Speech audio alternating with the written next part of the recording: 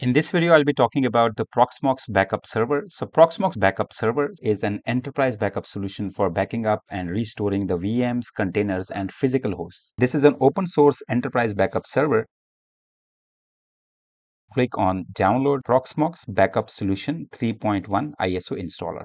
So I'll be using Balena Etcher and here is Balena Etcher. I have USB flash disk. So I'll be flashing it from file Proxmox backup server. So I'll be creating the flash disk so that I can boot it from flash disk. Alright, so flash is completed. So we'll close this and I'll remove the flash disk from here.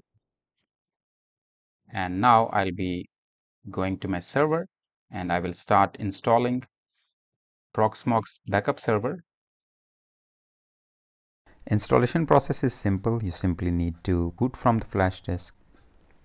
And now we'll agree the terms and conditions and simply choose the storage disk where you want to install the operating system. So there is only one storage right now available in this server. So I'll be installing it here. I'll be choosing swap size here, press OK and then next.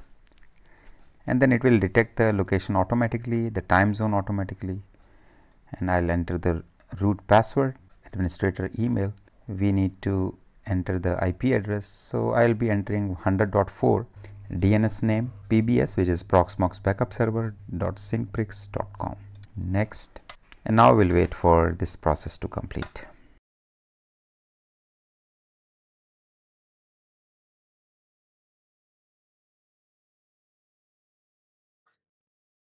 Alright, so backup server is ready so I'll be accessing the backup server here 192.168.100.4 and colon 8007 port number for web UI for Proxmox backup server.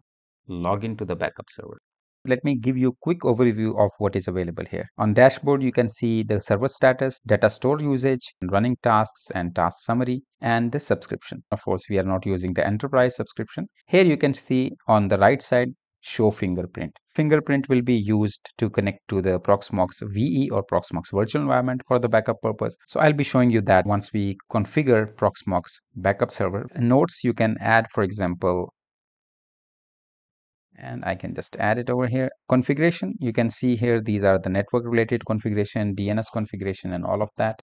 Access control, I have created two users here. One user was root and I have created one backup user. You can create the users, you can create the API token and all of that remotes in case you have connected to the remote servers, remote backup servers from the same location or different location. So you can add that. Here is the traffic control. If you want to control the traffic on backup server, you can do that. SSL certificate. So I have covered that in the SSL certificate videos. And here shell run the shell commands here. For example, I'll just do lsblk. So it will show me all the disks which are available here we can see here the storage. These are all the disks. Here are the tape backups. You can do the tape backup also. Drives can be added over here. Data stores. So i can click on add and i can start adding the data stores once the data stores are available. It could be other backup server also. It could be your nas server san storage or even cloud also. So we already have the disks which are internal disks. So i'll show you how we can use this particular disk to store the backups so I'll be going here to shell and here if I see lsblk, you can see here that right now I have these partition and in root partition if I go here,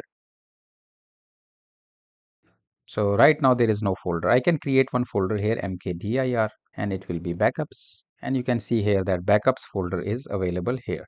Now I can of course go here back.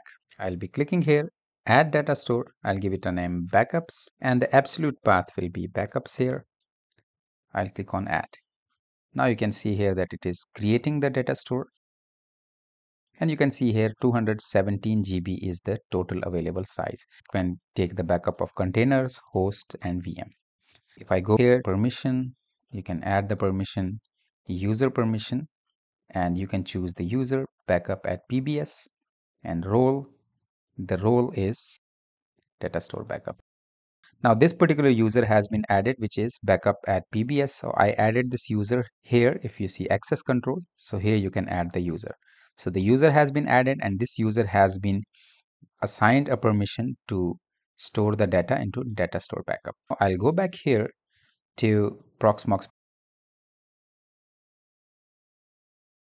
I'll click on data center, click on the storage, click on add storage, Proxmox backup server, and we'll give it a name, for example, backups, and server will be server IP address 192.168.100.4. This is what we used for the name, and here I can use the same user which we created. This one was the user. If I go to access control, backups, and here is backups at PBS, which is Proxmox backup server. And here is the password. And here the data store name, if you go back here to the backup server, you can see here the data store name is backups. So this is data store and inside data store, the data store name is backups. So I'll be using data store name here, backups. And finally, we need to add the fingerprint. I'll be going back here to the dashboard of the Proxmox backup server. Click on show fingerprint and copy this fingerprint here and paste it over here. Add. If I go back here, you can see here backup of PVE 228 GB is available right now and the same is available 228 GB. You can see here that the Proxmox backup server has been added over here. I'll go here to data center here and I'll click on backups and I'll add a backup here and here you can choose where you want to add the backup. So I'll be using to the Proxmox backup server backups and I'll schedule this backup every Sunday by 1 a.m. So send email, I'll say on failure only and here I'll be choosing pfSense, Docker and ERP. I'll be taking the backup of all of these and I'll be taking one backup just now. So I'll be going to pfSense here. I'll click on backup and I'll create a backup to the backups and I'll backup now. Till the time it is taking the backup, I'll go back here to the ERP which we created. So I'll be taking backup of this also. Earlier we took the backup of this on Google Drive. So I'll be now taking the backup of this on backups and backup now. If I check my email and the VM ID 100 pfSense 16 GB of backup has been stored here. So complete log is also there. So this way you can check the backup status also here. Here you can see now the backup is ready on the data store and backups. You can see here that pfSense is right now running and its backup has already been taken. So if I go back here, backups, simply click on restore in case something goes wrong. So my backup will be restored. And here is ERP. So if I go back here to the backups, one backup was available which I took on 7th of December 2023 and another backup which is available is on the backups which is my Proxmox backup server you can see here PBS. Here if I click I'll be able to restore it. I'll just click here and restore restore now yes all right so two minutes 1.3 seconds and here the output can be seen here that task is okay. So container has been restored now. I'll just start this container now to make sure that everything is working fine. If i go to console it's working great but the main feature that I have covered is about the backups. You can of course create multiple data stores here. So I can add another data store depending upon where the data store is located. So Proxmox virtual environment has now all of these drives available. This backup server is available in PVE also and PVE2 also. If you see here, this backup server, it is available here within this as well.